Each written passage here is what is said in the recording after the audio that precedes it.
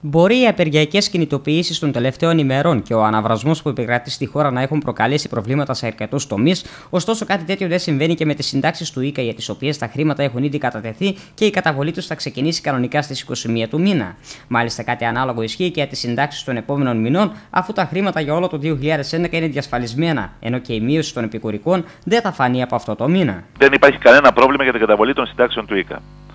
Ε, έχουν κατατεθεί ήδη τα χρήματα για την πληρωμή των συντάξεων του Νοεμβρίου, η οποία ξεκινάει από αύριο και επανειλημμένα ο διοικητής του ΙΚΑ έχει δηλώσει στα μέσα μαζικής ενημέρωσης ότι οι συντάξεις για το 2011 για τις συντάξεις για το 2011 δεν υπάρχει κανένα πρόβλημα και είναι εξασφαλισμένες με τα ισχύοντα σημερινά δεδομένα. Άρα για όποια ανησυχία θα πρέπει να αφορά το 2012.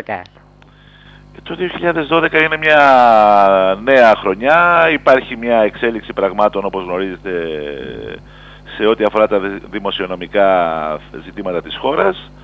Ε, θεωρώ ότι στα πλαίσια της εγγύησης των, ε, των εγγυήσεων μάλλον που δίνει η κυβέρνηση ή κάθε κυβέρνηση στα ζητήματα τα δημοσιονομικά, συνταξιοδοτικά, καταθέσεις στις τράπεζες, νομίζω ότι εμπίπτει και το θέμα της ε, καταβολής των συντάξεων. Επειδή όπως είπατε οι συντάξεις αυτές προκαταβάλλονται, ουσιαστικά τώρα θα πληρωθούν για τον Νοέμβριο, η μείωση στις επικουρικές θα φανεί από αυτό το μήνα, από αυτή την καταβολή; Όχι.